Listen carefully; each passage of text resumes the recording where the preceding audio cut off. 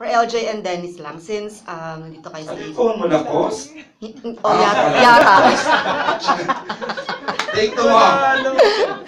Ayun, since, um, for example, lang, mabigyan kayo ng uh, great opportunity to work with um, Kapamilya Stars, sino yung nasa bucket list ninyo?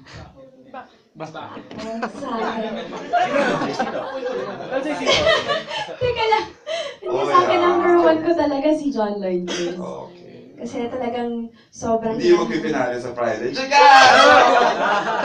na, nakatrabaho ko na siya before. Na joke lang. Um, kasi sobrang hinahangaan ko talaga siya. Yung mga movies niya napanood ko talaga. So, gusto ko talaga siyang makatrabaho.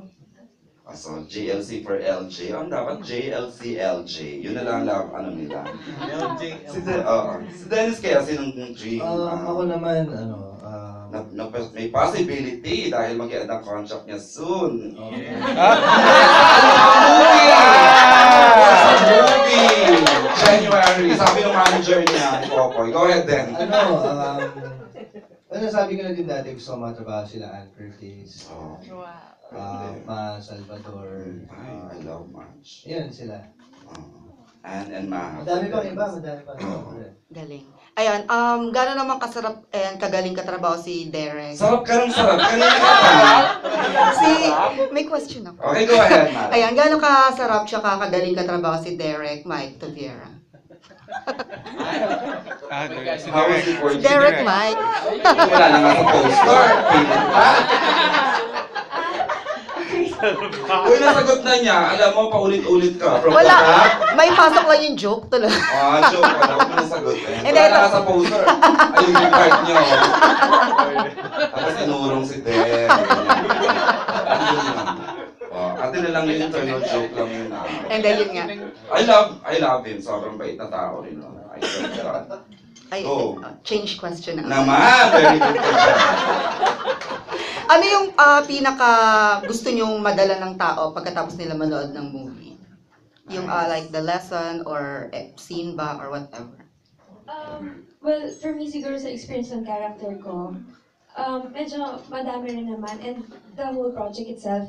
Um, kasi una, yung yung movie, it raises awareness kung ano talaga nangyayari sa um, sa sa um, mo- modern times, contemporary times na minsan isang side lang talaga yung nakikita natin. Pero maraming bagay ang hindi natin alam na nangyayari um, dun sa, sa movie, yung sa police, sa mga sa mga bahay-bahay, sa family ng mga police, family ng mga victims, um, marami tayong hindi alam and sometimes mara, um, nagiging clouded tayo, blinded tayo sa mga nangyayari and nakakatuwa na ito since ang daming pinakita. Ngayon, at least mas maiintindihan natin kung ano talaga nangyari, kung gaano kabigat yung nangyayari ngayon. Si Dennis, um, how would you like to this movie to be remembered? Parang yun ba yun? Well, bukod, bukod dun sa mga mga violent at brutal na eksena dito sa pelikula, so gusto ko rin ma madala ng mga tao pagkatapos nila lumabas sa sinihan na um, ma-prioritize nila and mabigyang halaga kung ano talaga yung mga mas importante sa buhay nila. Katulad nung trabaho ba o pamilya. So, yun siguro. From the creator, siguro. Um, sa akin, I think uh, in in terms of the movie, I I would I would hope what people get from it is that uh, you you al- always let your heart guide your actions. Uh, you never follow blindly. You never. You always question um, what you do. Are you doing the right thing? Are you doing the righteous thing? Are you harming your your fellow man? So um, it, it, sometimes in our path, hindi natin naiisip or we just use our head but not our heart. You always have your heart guide your actions.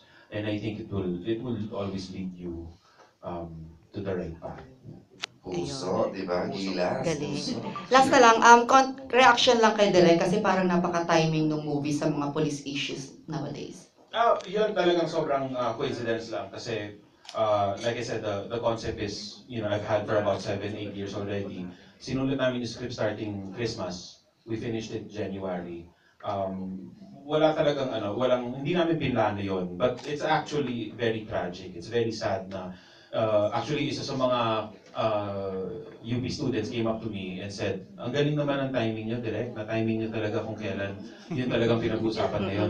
Tapos sabi ko, uh, actually, that it makes me more sad kasi however violent or or depressing or whatever you find the events in the movie, just look at the newspaper or the news, it's even worse. You know, what what's happening outside uh, our doors is, is worse than what you can find in any movie. And that's really sad. And hopefully, parang yung mga manunod ng pelikulang ito, sana mamulat lang ng konti dun sa situation na nangyari. Maybe together we can we can find so start finding solutions. Thank Galing you. ni Direk magsalita, ano, napaka-engaging, ano. Pang politiko. Ah, so naka-script yan eh, so Galing. Congrats, guys. Thank you. Tapos ka na.